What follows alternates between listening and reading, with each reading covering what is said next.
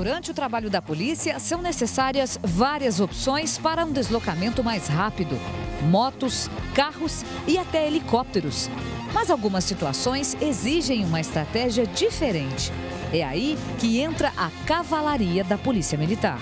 Manifestações, reintegração de posse, é, adentramento em, em ambientes que não sejam é, é, possível uma tropa convencional em a, a, entrada, então a estádio e diversas situações que nos é colocado aí a, a, a essa intervenção. Os cavalos recebem alimentação e treinamento adequados antes de entrarem em atividade. Como é melhor feno, a melhor ração, temos profissionais aqui na área veterinária 24 horas de serviço. Temos também a ferradoria que faz o cascamento, cuida do casco do animal. E o animal aqui, ele é submetido na mesma carga horária do policial militar. Cada policial militar, ou seja, cada cavalariano tem a sua montada e isso ele trabalha conforme a sua escala. Antes, os animais eram adquiridos através de licitação, mas agora eles se reproduzem dentro da própria sede da cavalaria. A licitação feita pelo Estado ah, em, adquirir animais eh, se tornaria bastante é, cara para o Estado. Então, ah, de uma certa forma, é, compreendemos que a reprodução interna, a gente pegar aquele potro desde o seu nascimento até a hora de ser colocado às ruas, entendemos que a, a, aqui a nossa doma, a, nossos cuidados dia a dia, que temos é, propiciou esse animal ser melhor para se empregar das ruas.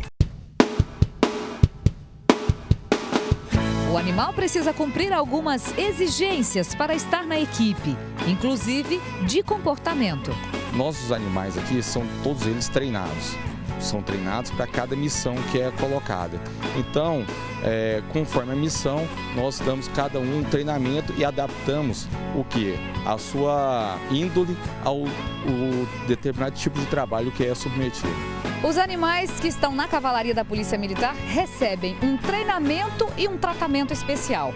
Esse aqui é o Rio Quente. Qual é a personalidade do Rio Quente? Ele é mansinho, ele está aqui, está tranquilo, mas se colocar ele em operações mais severas, ele está pronto. Ele está pronto, está capacitado para suportar qualquer tipo de fadiga que venha acontecer em uma situação de distúrbio, né, de manifestação, onde acaba-se a ordem pública. Se for preciso, ele vai para cima e não se intimida com movimentação de manifestantes.